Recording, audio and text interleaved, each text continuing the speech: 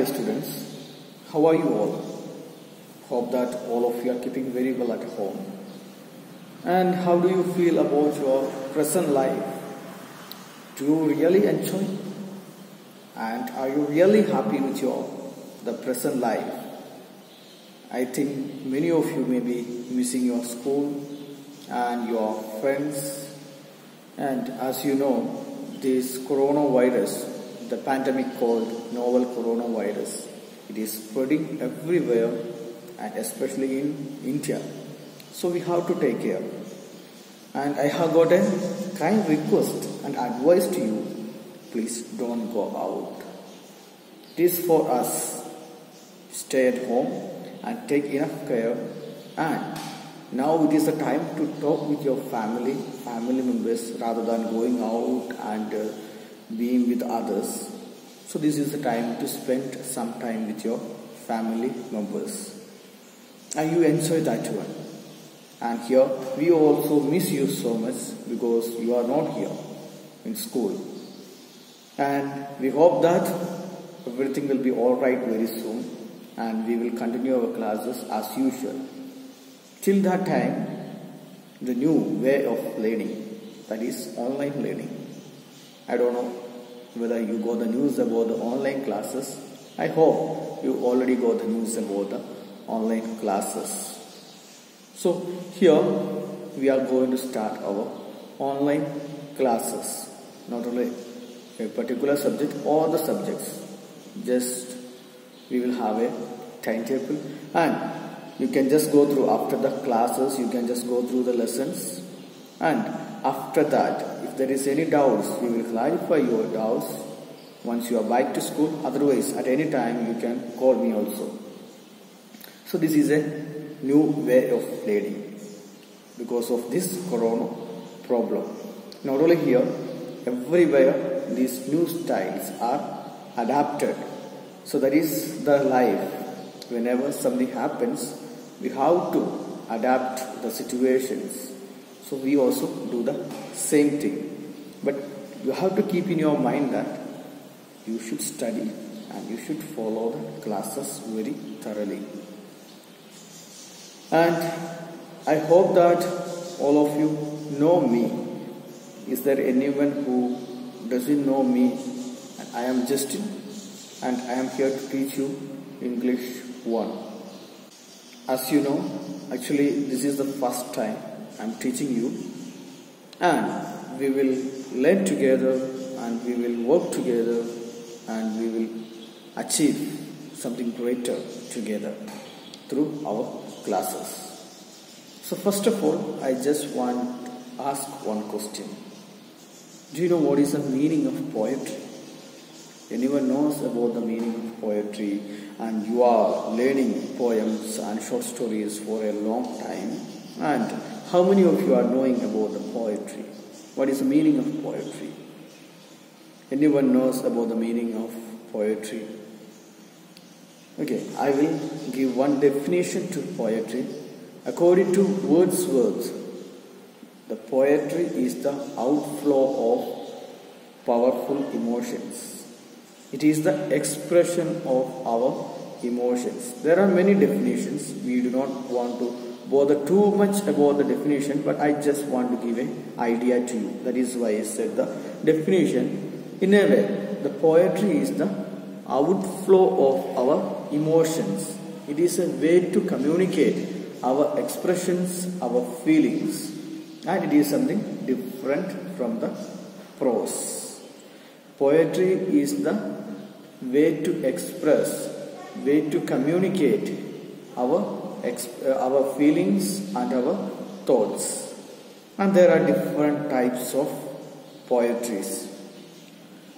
Two types mainly. That is objective poetry and the second one it is the subjective poetry. Anyone knows about the objective and the subjective poetry? Okay so if anyone wants to write something you can write or make a note. So two divisions are there objective and subjective poetry so i will read out objective poetry deals with the actions events and the things we see around us and it is the epic, ballad or drama are the forms of this kind of poetry. In such kinds of poems, poets generally function as a detached observer and rarely express their own feelings. So here in objective poetry, we speak about the events and the incidents that we see around us. The poet, he is not expressing his own feelings and emotions, but he just stands as an observer and he observe the things and then write the poem.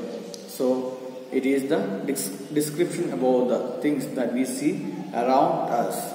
And there are different types of objective poetries that we will see later.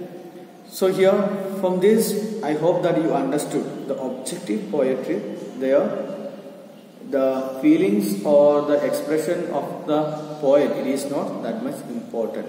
He is just an observer and he then writes. There is no importance for the feelings of the author. So I hope that you understood then the subjective poetry. What will be the subjective poetry then? In subjective poetry, the feelings of poet is very important. He expresses his own feelings and emotions. So that is the difference between the objective and the subjective poetry. In subjective poetry, it is that which expresses the poet's point of view about a subject. The lyric uh, is the uh, form, one of the forms of subjective poetry is that which expresses the poet's point of view about a subject. The lyric is one of the forms of such a kind of poetry. And here the more importance is given to the poet's emotions, his feelings. Okay, that is the difference between the subjective and the objective poetry. But in many of the poem, poems, we may not be able to find out such kind of distinctions okay? But such a kind of distinction or differences are there. There are two types of poetry that is objective and the subjective poetries. In the objective the feelings of the poet is not that much important but in the subjective poetry the feelings of the poet is very important and that is expressed in the subjective poetry now we will discuss the forms of poetry. The first one, it is the lyric. Lyric, it is a short and a subjective poem which deals with a single emotion. It is very short and at the same time it is a subjective poem which deals with a single emotion. You know what is the subjective poem. What is subjective poem? Subjective poem, it gives importance to the emotions and the feelings of the poet. So lyric is the example for that one. And the second one, it is the ode. The spelling it is O-D-E. It is a serious, dignified composition. It includes a direct address to some person or a thing. It is sometimes used to commemorate the, a public occasion. It, it is an address to a particular person or a thing and it is used to commemorate a particular incident or an event or an occasion. And the third one that is sonnet. Sonnet it is a short poem of 14 lines. Just like in the lyric it expresses the emotions, the feelings a single emotion is expressed in sonnet. And the fourth one, elegy. Elegy, it is in, it is sad in tone. That means it expresses the lamentations of the poet. Poet is very sad about the some incidents that happened in his life and he laments over the particular sad incident that happened in his life. That is the elegy. And the fifth one, epic. What is the meaning of epic? You know, the epic, it speaks about something heroic events and the incidents, the heroic events that may be connected with the past or the traditions. So the epic form, also is just same as that one. It speaks about the heroic events that happen. And the sixth one, it is the ballad. It is a short story like poem. It is a short story in verse and it narrates a particular incident. Rather than the words, it is, gives importance to some kind of actions. It speaks about some kind of actions. So if we have seen the six forms of poetry, lyric, ode, sonnet, elegy, epic and ballad. Now I give a homework to you, find out more forms of uh, poems with the example. So you write these six and the definition of these six and the example of these six poetries, type of forms of poetry and then try to find out more forms. And now we will see the analyzing a poem. That means the content of the poem. First of all, there will be a speaker. Many times we may be confused by seeing I in the poem as the author or the poet. But in some types of poems, it may not be true. It may be about a narrator that is already mentioned there in the poem. So you must be careful when you read the poem. There will be a speaker. And second one, there will be an audience. The speaker in the poem can address. So first of all, there is a speaker and that speaker can address this poem to the reader or another character in the poem or someone who is not present or the person is dead. So the audience may be the reader. If we read particular poem, we may be the audience. And the second one, another character there in the poem. In some poems, there may be more characters. So it may be addressing to that particular character. And the third one is addressed to the person who is not present. It means the person is dead. The lamentation type of poems are the examples. So three type, three audiences are there. And the tone of the poem also is very important in order to express the poem in a very beautiful way to the reader. And the fourth one, the language. According to the forms of the language, uh, according to the forms of the poetry, the language of the poem, it differs. And the last one, it is the imagery. Poets uses the different types of imageries in the poem, just like visual imagery, auditory imagery, and the reason to bring such a kind of imageries in the poem it is to make the audience to feel the atmosphere. The audience also feel the, the atmosphere that the poet felt. That is the reason to bring audio or the visual imagery in the poem. So I hope that you understood the content of the poem. First of all, there will be a speaker, then audience, tone, language and the imagery. And now it is the time to see the figures of speech or the poetic devices that is used in the poem. And you may be knowing different types of poetic devices and you might have learned so many poetic devices.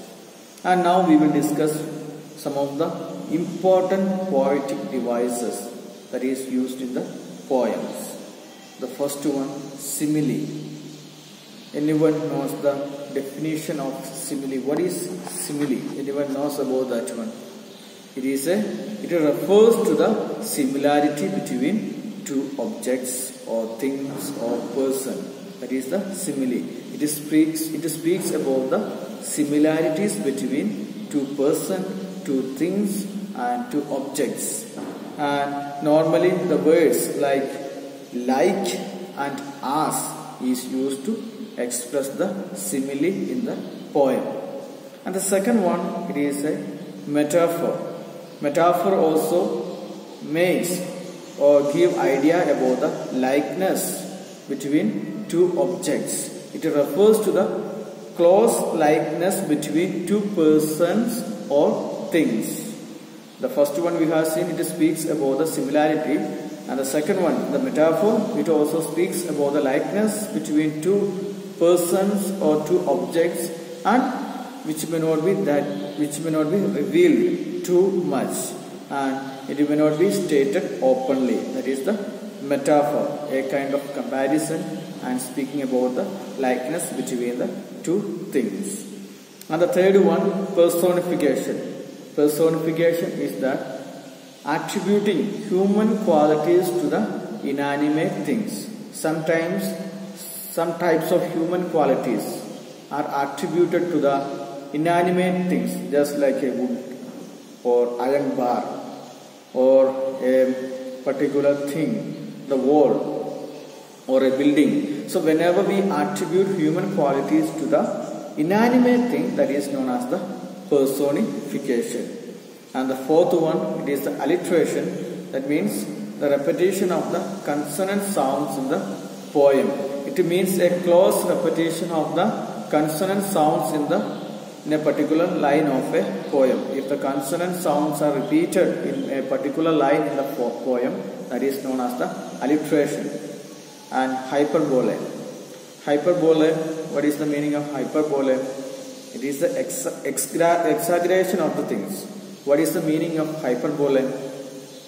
It is the exaggeration of something normal.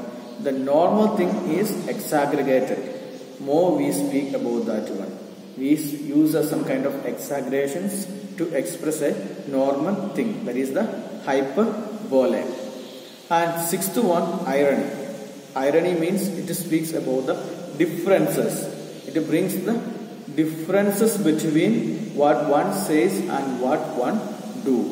It speaks about the differences between what one says and what one do or intend. And the seventh one onomatopoeia. Onomatopoeia means it refers to the use of word whose sounds matches with its sense. Like uh, the natural sounds. Means onomatopoeia it imitates the natural sounds the use of the sounds from nature. And the last one allusion. It means referring to a person incident from the past. That is the allusion. These six, these eight are some of the figures of the figures of uh, speech or the uh, poetic devices that can be used in the poems. And one more homework i would like to give to you. That is find out different types of figures of speech the poetic devices with the example. So that is the uh, matters related to the poem. We have seen the definition of the poem. It is a it is the expression of our feelings. And it is the way to communicate our emotions and the feelings. And there are two types of poems subjective and the objective in the objective type of poem the poet is not expressing his feelings but he just stands as an observer. And the second one it is the subjective poem. And in the subjective poem the poet expresses his feelings and the emotions. And we had seen the forms of poems and the content of the poem. And finally we saw the figures of speech. So you may please go through all these things and if there is any doubts you can ask now we will start our first lesson are you ready to learn something and I hope that it may not be that much interesting for you to learn something after a long gap. It may be boring for you, but somehow you have to learn something. So you enjoyed two or three months at home. Now it is the time to learn something and something to do something good for you. And we will start with the first lesson. And you may please take page number 9 in your textbook the first chapter that is how beautiful is the rain and the information about the author is given there it is written by H.W. Longfellow the poem is written by H.W. Longfellow and the name of the poem it is how beautiful is the rain And before we start our lesson, I just want to ask one thing. Do you really enjoy rain? And whenever there is rain, what is your feeling? Do you get any kind of feeling whenever there is rain or only to sleep, go somewhere and sleep somewhere? Is that your only thing that come to your mind whenever you hear about rain? Because normally people do that one because during the rain the climate changes and we all enjoy that climate, little cold and it is better and it is good to sleep that time. And even I also do the same thing many times. Because that gives a kind of relaxation or relief. And many of you also may be doing the same thing. Rather than this do you feel anything whenever there is rain? That means going out with the friends playing. And here this poet he just observes the things around him. We also see the rain, but many times we do not get a mood to write a poem like this. And we also saw the things that is expressed here in this poem. But we do not have any idea to create or make a poem. But the author or the poet, he made it. He observed the things. And from that, he made this beautiful poem. The name of the poem it is How Beautiful is the Rain. So through this poem, the poet is expressing the beauty of the poem. Through this poem, the poet is expressing the beauty of rain. So we will see the poem and you will understand how beautifully he expresses the beauty of the rain. And there is an introduction given, a brief introduction given there in your textbook. You just read that one. Rain is much awaited after the prolonged period of intense heat and the dry spell of summer season. Before the rainy season, you know, it is the summer season. It is very hot and we may get very tired very fast during the summer season. Dust, heat and all kind of disturbance. And we just uh, felt the summer season. And once the rain it is there, it gives a relaxation and the relief. It brings happiness and mirth. Mirth means joy to the sick man and gladdens the hearts of the children with the utmost uh, joy. Rain brings relief to peasants and all forms of life on earth. So here the poet through this poem he just trying to say that rain brings happiness to all forms of the earth, whether it is animal, whether it is human being, whether it is a tree or a plant or anything. It brings happiness to all forms of yeah, all forms of life on earth. So rain is something much awaited thing after the heat of summer season. And here in this poem we mainly discussed about the how it gives how it gives the relaxation or relief to the sick person, children, persons, the animals, or the ecosystem, and everything, all forms of life. So I hope that you will enjoy the poem, and when you go through the poem, just feel the poem, and just you just feel that you are enjoying rain, and you just see the beauty of rain, and it is your expressions. So in that way you just see the poem, then it will be interesting for you. So shall we start our first stanza? So I will read out the first stanza. How beautiful is the rain. After the dust and heat, in the broad and fiery street, in the narrow lane, how beautiful is the rain. So here, the first, first stanza itself, the poet is expressing the beauty of the rain. He is saying, How beautiful is the rain after the dust and heat. After the dust and heat means after the summer season. Normally rain comes after the summer season. So May, April, April, May, March, summer season, we knew the effects of summer season on us. Heat and dust and everything. But after that, last week there was rain. It was a kind of uh, relaxation.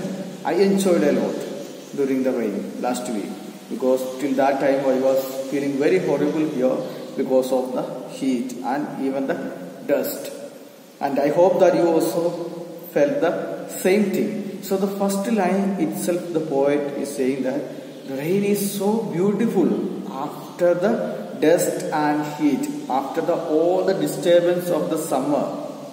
Such a kind of heat and dust, the rain comes means it gives a happiness, pleasure. So that is why the poet say, how beautiful is the rain after the dust and heat of summer.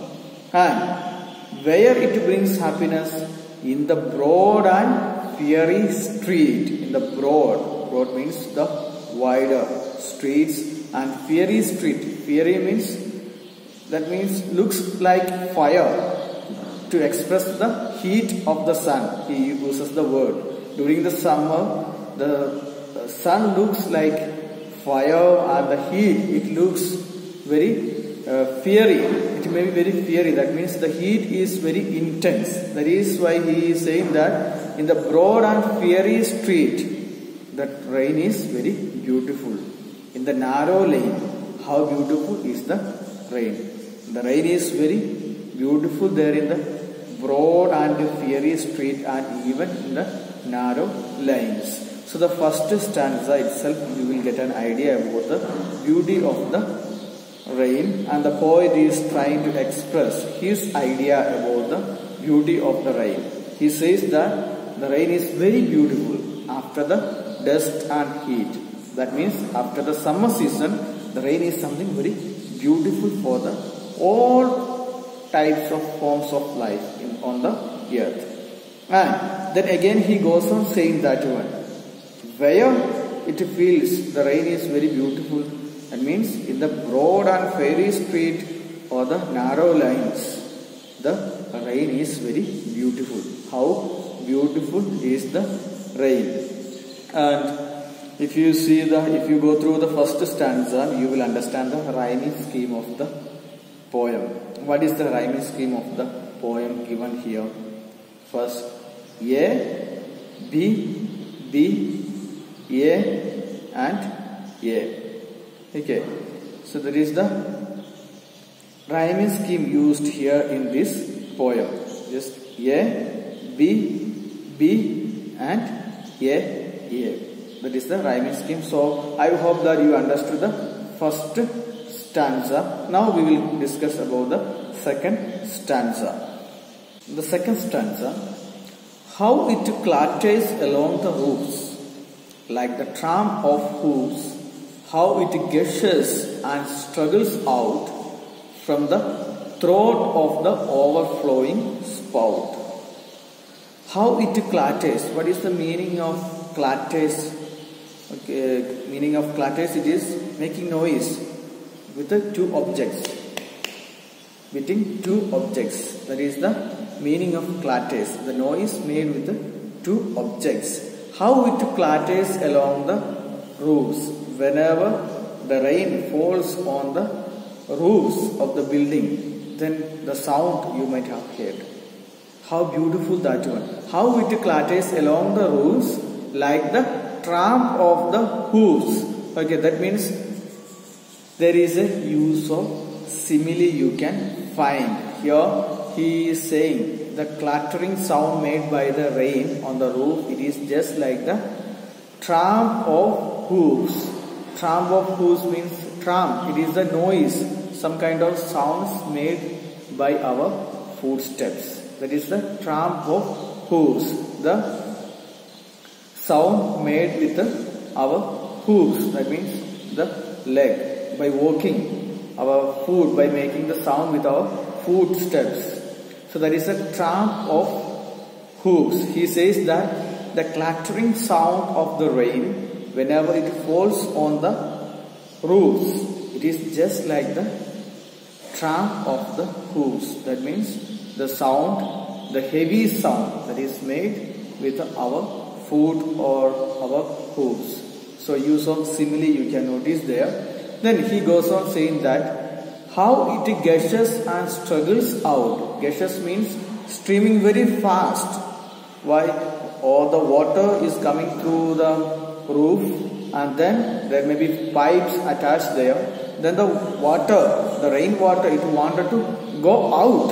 So it gushes out, streaming very fast from the throat of overflowing sprout. Spout. Spout means pipe. The water, the rainwater wanted to get out from this one. It wanted to go out. It struggles out. How it gushes and struggles out from the throat of overflowing spout. The pipe is already overflowing. Then also the water, the rainwater heavy rain it is there and it wanted to go out. So it struggles and gushes out very fast streaming, trying to go out. So he finds the beauty in that one. In the second line we can see that one. In the second stanza we can see that one. He is using the simile in the first two lines.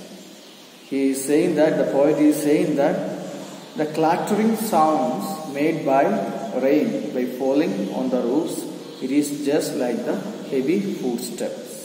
And then he says, the rainwater, it is trying to go out. It is streaming very fast in order to go out through the overflowing pipe. So the some of the words meanings are given there. So you just study the vocabulary. New words are there. You just study the words with the example. Now we will move to the third stanza. Third stanza. Across the window pane it pours and pours, and swift and wide with a muddy tide. Like a river down the gutter roads, the rain, the welcome rain. He speaks about the welcome rain, the first rain. Welcome rain here means the first rain. He speaks about the first rain and how it affects, how the nature enjoys, how the situations around us enjoys. First one, first line.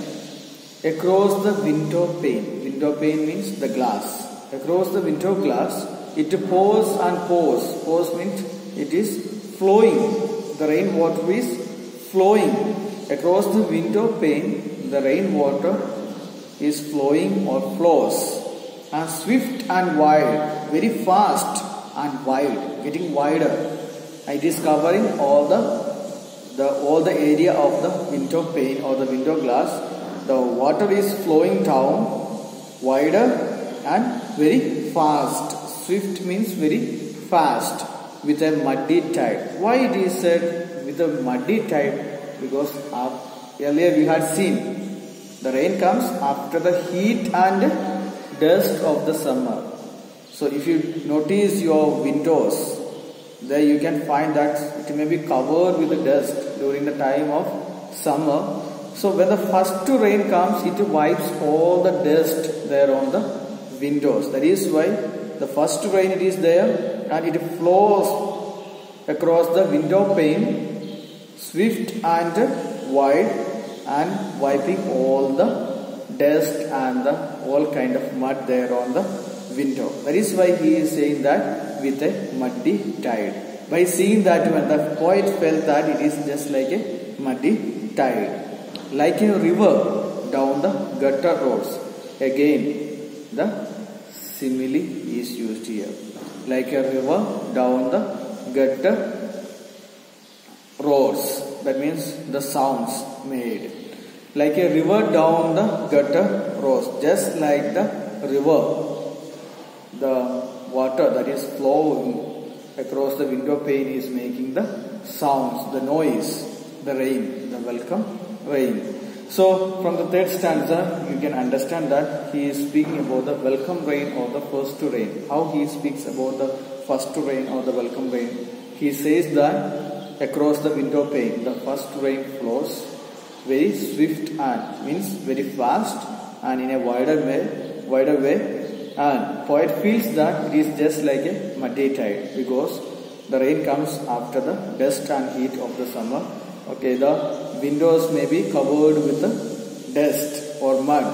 And when the first rain it is there, it wipes all the mud and the dust on the windows. So the poet feels that when the water is flowing down very fast way, it is just like a muddy tide. And just like the river down, this water that is coming down through the on the windows across the window it makes the sound. And he speaks about the rain the welcome rain. The fourth stanza. The sick man from his chamber looks at the twisted roots. He can feel the cool. Breath of each little pool his fevered brain grows calm again and he breathes a blessing on the rain. The impact of rain on the sick person, the influence of rain on the sick person is expressed in the fourth stanza. How the sick person enjoys the rain. How does he enjoy the rain, the first and the welcome rain?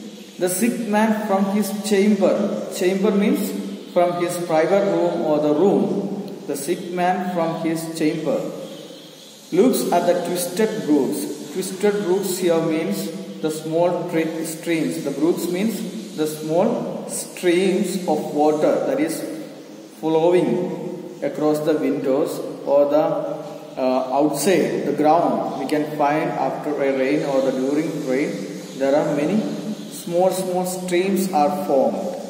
And the sick person from his private room he is just looking at the streams that flows twisted making so many uh, separations divisions and it is twisted in many ways. Twisted brooks means the small streams. He can feel the cool breath of each little pool. So after the rain or during the rain there are many pools formed with the, the rainwater. If there is any dig or a pit, then normally it is converted into a pool during the time of rain. Small, small pools. So from that, from each pools, the old person or the sick person, he can get the breath of each little cool breath of the little pools there. So from the sick, from the private room, the sick person is looking outside and he finds that there are so many twisted streams and from each pools formed after the rain or the, during the rain, the old person gets the cool breath which can give a kind of relaxation to the mind of this old person. And then his fevered brain, his fevered brain means with a mental illness. The mental illness means the sick person, he may be alone at the home, he may be lonely at home. So, in such a kind of situation, his mind grows very calm and he breathes a blessing on the rain. Actually, the poet says here, the sick person, he gets a blessing during the time of rain. And I don't know, you experience uh, such a kind of things the old persons or the sick persons, many times they're left alone at home. Whenever you go for party and everything, the old person, they may left there at the home or the sick persons. And you may not be knowing about the feelings of that people. You may just leave them. You, it may be your grandfather, grandmother, anyone may be. You may not be knowing about their feelings. You just go out, you enjoy your life, and you do not bother about the person who is there at home, just like the sick person mentioned here in this poem. His brain and his mind is not that much cool whenever you go out. He also or she also maybe has got a desire to come with you. But because of their health condition may not be possible. So here the poet says his fevered brain, that means the loneliness, isolated life, in such a kind of life, the rain brings a kind of happiness, a blessing.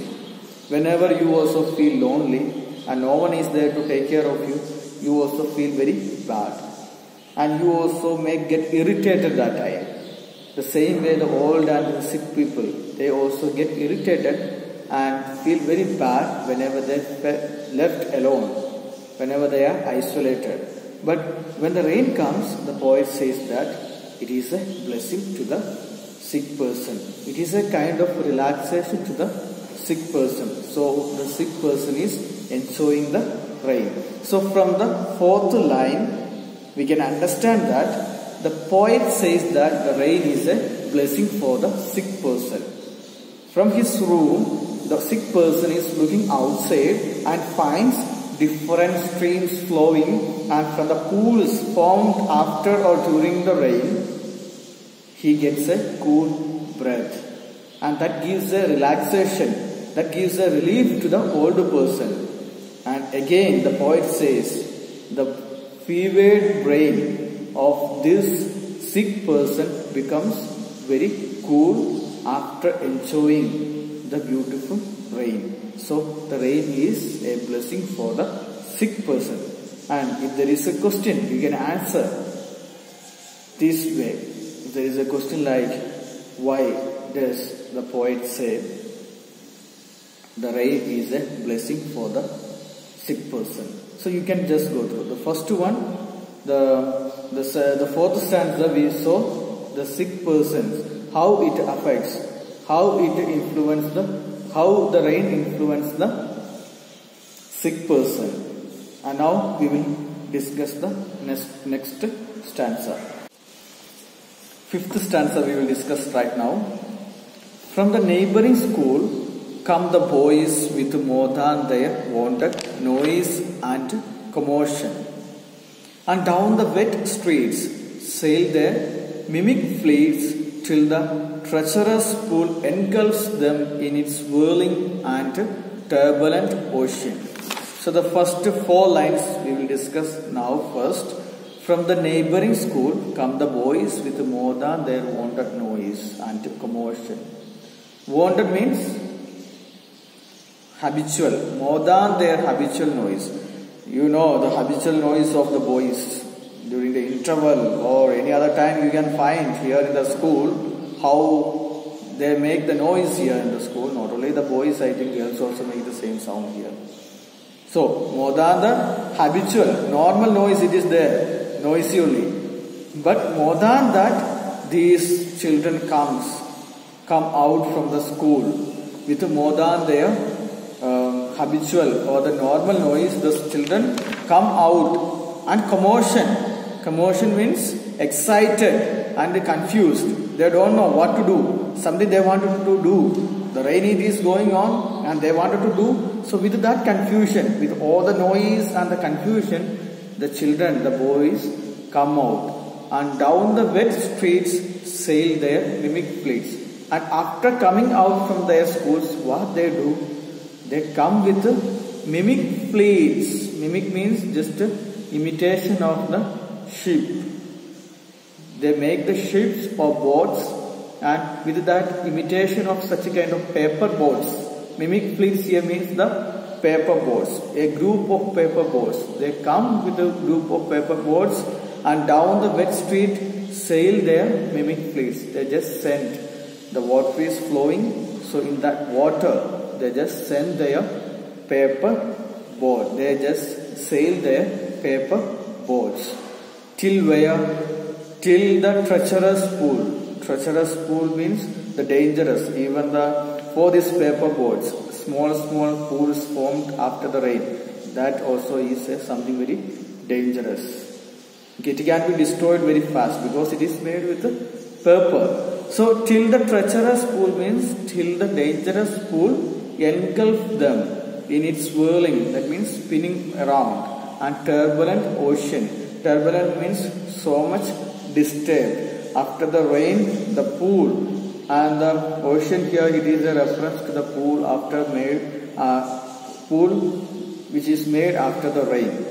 So the boys come out with the, their habitual noise, more than their habitual noise with all the confusion to do without knowing what to do. And they come with the some paper boats and they just sail their paper boats and till it reaches the dangerous pool and after that it may get destroyed. A short life for these paper boats because it is made with the purpose till the treacherous pool engulfs that means covers the uh, particular paper boat in its whirling that means spinning around and turbulent ocean and after that the paper boat will get destroyed. I hope that you understood uh, the fifth stanza. The fifth stanza it speaks about the reaction of the children, how they enjoy the rain, how the children enjoy the rain. That is expressed there in the fifth stanza. They come out from their schools with much noise, more than their habitual noise, with all the confusion and excitement.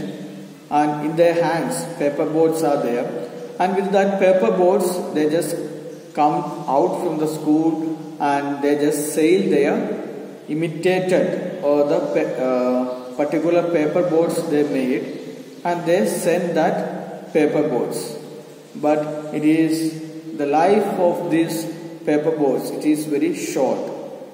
Till it reaches, after it reaching the pool, it may get destroyed. So here in the fifth stanza, the poet speaks about how the children enjoy the beauty of the rain. Sixth stanza.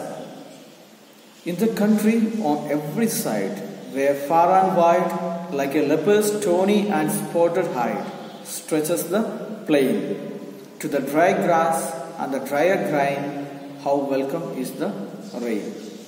Here in this stanza, the poet is expressing how beautiful is the rain for the grass and the grains. And the first two lines in the country on every side, where far and wide means everywhere in the country. The meaning of the first two lines everywhere in the country, like a leopard's stony and spotted hide stretches the plain.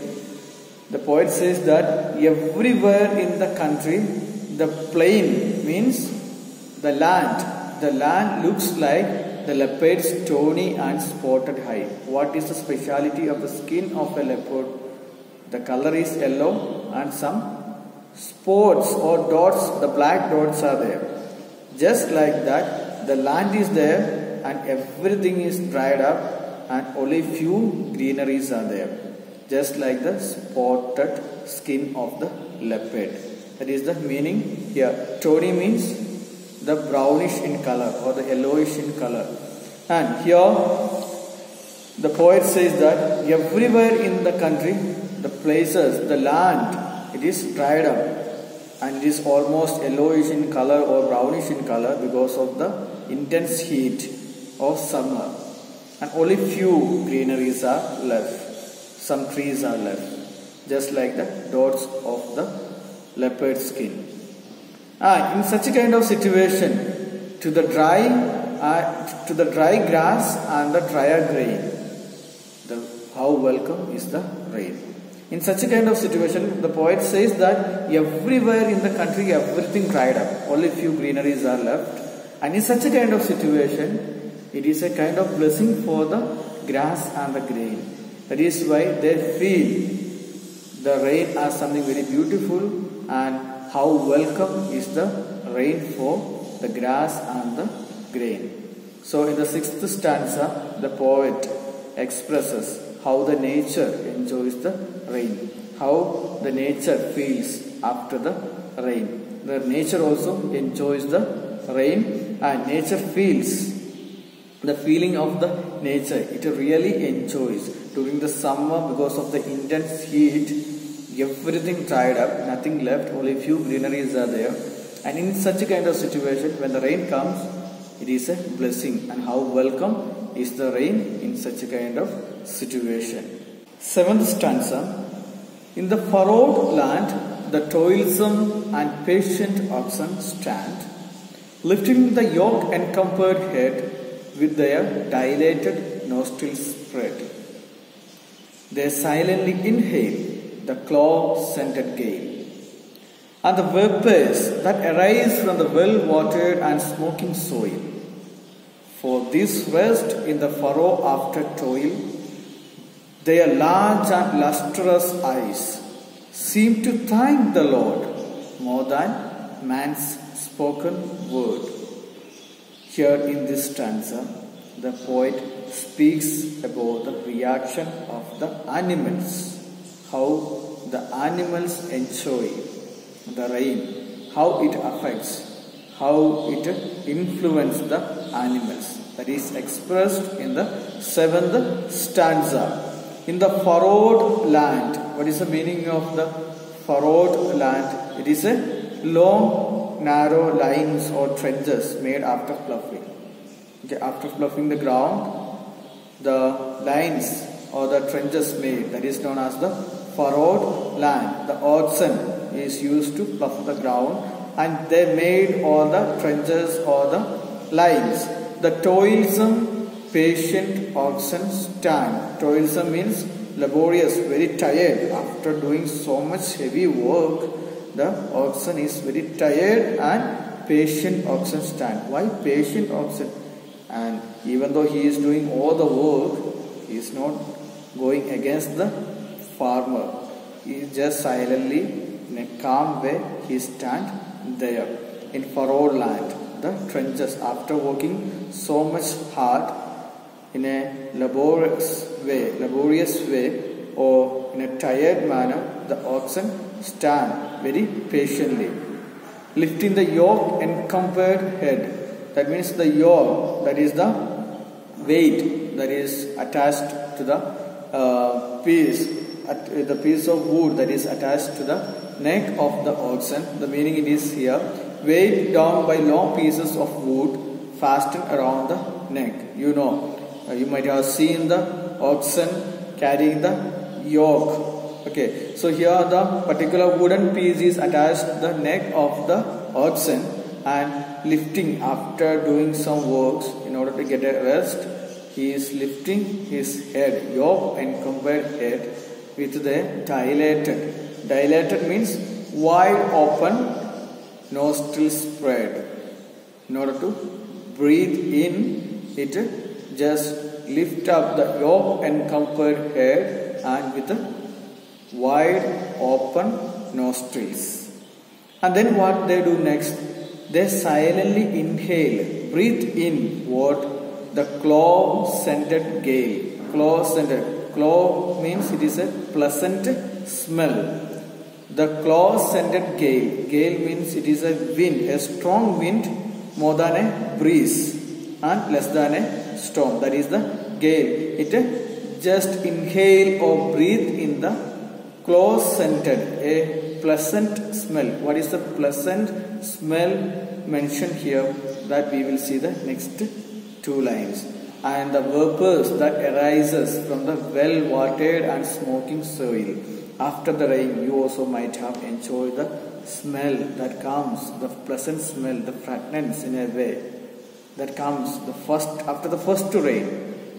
It is very pleasant, the smell of the soil that is very pleasant. That is compared to here, the poet says that it is just like close scented gale, a pleasant smell. They silently breathe in the pleasant smell, scented gale. That means the wind. They just inhale. And the vapors that arises from the well watered and smoking soil. Smoking soil. Why? Because the vapors are going up and this oxen is just inhaling all these things. And for this rest in the furrowed after the toil, their large and lustrous eyes seem to thank the Lord. Lustrous eyes means open, wide open eyes. Now the oxen is taking rest after the rain. Uh, he is getting a relaxation. For this rest in the furrowed after the toil, after the heavy work, getting a rest for the oxen. So, because of that reason, the oxen is thanking the Lord with the lustrous eyes, wide and open, or shining eyes. Lustrous means the shining eyes. Their large and shining eyes seem to thank the Lord. And the poet says that the gratitude of these animals, it is more than the words of the or the spoken word of human being. Human being, they normally say their gratitude or express their gratitude through their words. But these animals, by just standing there, by looking at the God, raising its head towards heaven, with a shining eyes, very happy in mind, that itself is a gratitude to the Lord. And according to the poet, that gratitude is greater than the spoken word of human being. So in this stanza we can see that the reaction of the animal, how the animals enjoy the rain. So the oxen, by giving the example of oxen, the poet describes how the animals enjoy the rain very much. After doing so much work, it, it is time in order to take a rest there and the oxen is trying to inhale the pleasant uh, wind and after that his eyes after seeing the eyes of the oxen the poet feels that he is thanking lord for such a kind of good atmosphere after the heavy work. The last stanza of the poem. Near at hand from under the sheltering trees the farmer sees his pastures and his fields of grain as they bend their tops to the numberless beating drops of the incessant rain. He counts it as no sin that he sees therein only his own thrift and gain. Now the poet speaks about the reaction of the peasant or the farmer. How does he enjoy the rain? How does he feel about the rain? Near at hand, from under the sheltering trees, the farmer sees. Near at hand means very close. He is very close to his pastures or the fields, and from that he sees from under the sheltering trees. He may be standing under the trees for the shelter, and from there he sees very close to his pastures, and he is standing under the trees the farmer sees what he sees there his pastures and his fields of grain as they bend their tops to the numberless beating drops of the incessant rain. Incessant means continuous rain. So whenever there is a continuous and a heavy rain you know the condition of the uh, plants or the grain or the uh, particular uh, okay the plants and the grasses. So what will be the condition? It may bend down because of the continuous rain. There is a possibility the grass and the grain it can bend down. And from his shelter, the sheltering trees, the the farmer sees, the peasant sees that his pastures and his fields of grain as they bend their tops, all the grains what he cultivated so far, that is bending down after the rain or the during the rain as they bend their tops to the numberless beating drops of the incessant rain. The continuous rain it is falling over the top of this grain and these grains are just bending down but the farmer is not afraid about that one. And he is not considering it as a sin. It is something as bad. But he feels it is a profit in his life. Of the incessant rain, he counts it as no sin. Why does the poet say that the farmer is not considering it as not a sin? Because the poet feels that it is not a sin, but it is a good opportunity for the farmer because after the rain he may get more profit. This grain and the things that he cultivated so far, it can grow faster. That is why the last two lines he gives the answer. Why does the poet, okay, uh, the last two lines, the poet gives the answer that he sees therein only his own thrift and gain. He is not considering it as not a sin, but he is considering it as his thrift. That means prosperity and profit in his life and gain. So here in this stanza, the last stanza, the poet is speaking about the reaction of the peasants. How does the peasant or the farmer enjoy the rain? He is very close to his pastures and his fields and from under a sheltering tree, he just observes the things that is going on during the rain.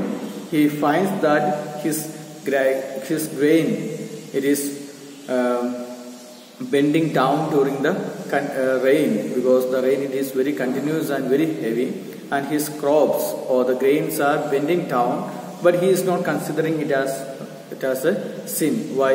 Because he feels that after the rain the same rain can bring a prosperity and gain in his life. How? The rain can make the grass to the rain can make the grains to grow very fast. So that is why he doesn't feel that there is a sin in that thing that is happening during the rain. I hope that you understood the poem. So here, what all the things we discussed. Here, in a way, the poet is saying that the rain is very beautiful. The rain is very beautiful. And he says, after the summer, when the rain comes, it gives a kind of relaxation and relief to not only human beings but to all forms of life on earth. And in a way, he expresses the all forms on the earth, how the rain affects the all forms of the earth by giving some examples. First of all, he started with a sick person, then the children, then the nature, then the animals and the peasants. So hope that all understood the poem. And now we will see the uh, appreciation part. You may please take page number 11 there. And onomatopoeia. I told in the introduction part onomatopoeia. It is a poetic device or the figures of speech that is used in the poem. Here it is the imitation of the natural sounds. The detailed explanation is given there. And you just find out the use of onomatopoeia there in the poem. And the second poetic devices used in the poem it is simile. It is a comparison made between two different things and expressing the similarity between two things. So you may just once again go through the poem and write the summary of the poem. Okay, go through the poem very thoroughly and clarify your doubts then write a summary of the poem. Uh, I think two pages. You can write the summary of the poem and the rest of the things the answer discussion we will do the next class. Thank you. Have a nice day